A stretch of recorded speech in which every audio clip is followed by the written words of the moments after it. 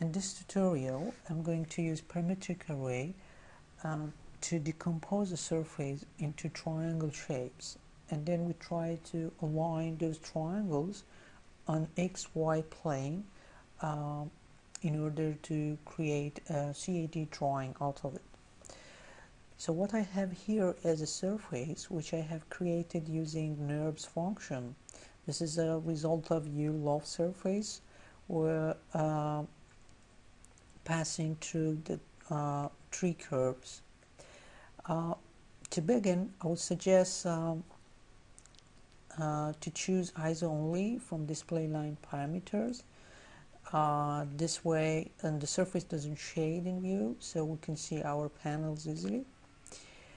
Um, the next thing we'll do is to create a triangle. I'm going to use ngon command and we set the sides uh, parameter 3 and then we create a triangle. Well, uh, we need to create a mesh out of this, so I would um, just convert it to a editable mesh and then we create array out of it. Uh, this is basically a two-dimensional array and uh, mm, it's obviously copy because I'm going to deform the, uh, the triangle. We say yes to this question since it's asking for a transform um, modifying the vertices which is the what which is what we're going to do. And uh, here we need to go under object and we, we look for vertices which they are uh, usually under the master point controller. Um, I just check on the master to check all the vertices and then we can assign the surface controller to them. Uh, for the surface controller we can use instance for all three vertices uh, and for the offsets we will actually use the sub-object controller to control the offsets uh, for the vertices. So now we just need to define uh, we just need to assign our surface to the controller and we update the array. So uh, here uh, the triangle just uh, uh, they have been arrayed on the surface in a normal grid. So we need to choose our grid a different pattern for the grid. Uh, that could happen under the this option and what we're looking for is a triangulated grid. Uh, let's see if this works. No we have to go vertical yeah uh, I would I will show the edges so we can see what's happening here. So we already triangulated um, our surface. What we need is uh, I'm going to create a snapshot uh, for this array.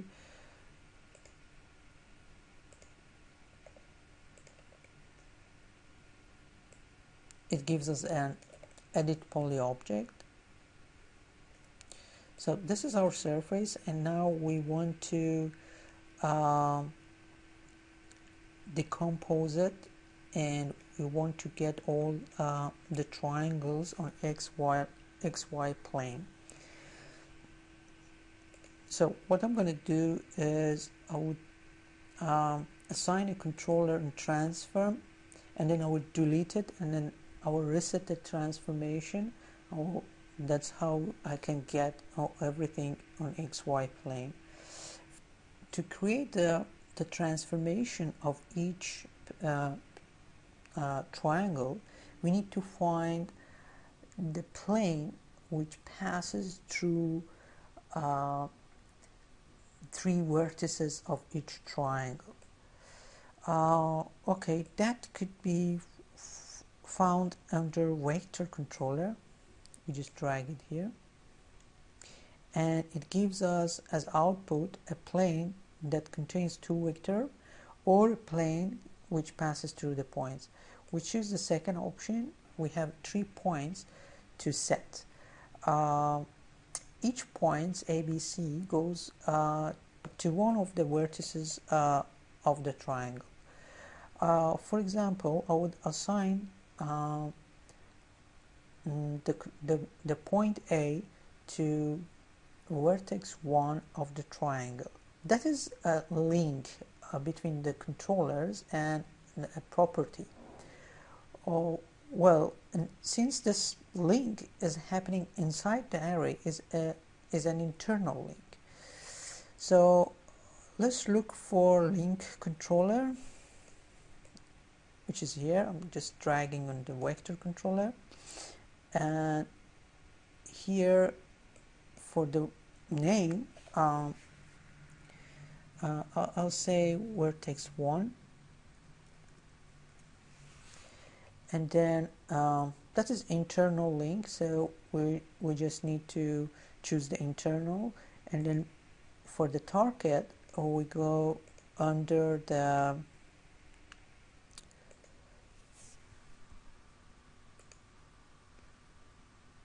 vertex 1 which is this one under the master point you can find the vertex 1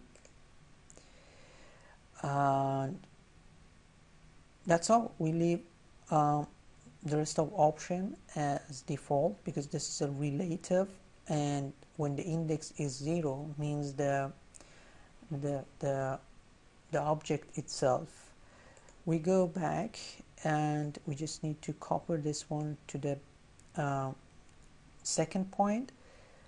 Um, we we choose copy option. Now I'm going to set this one to the second vertex.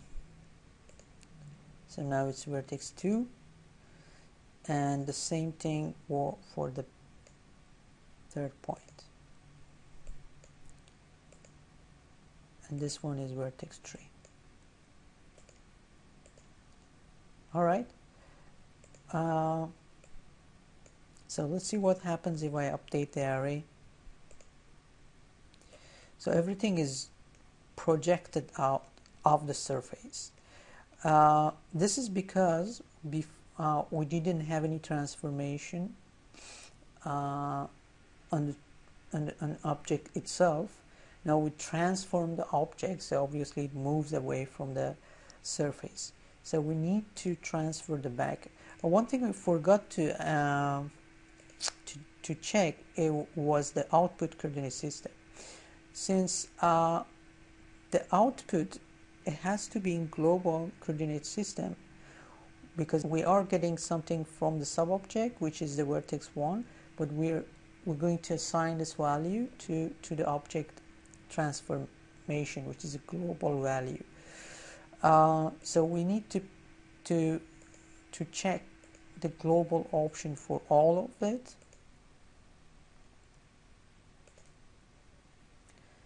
Okay. Now let's just update uh, all the controllers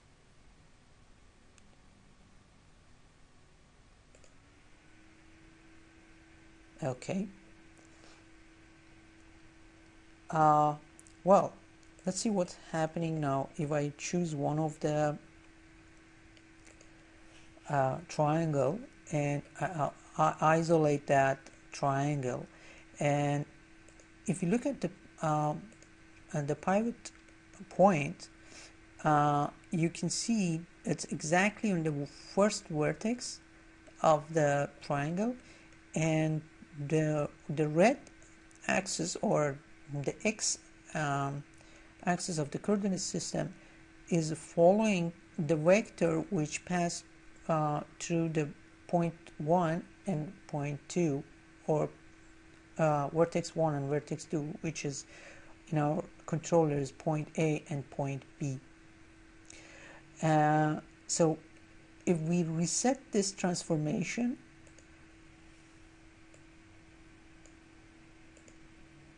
let's go back to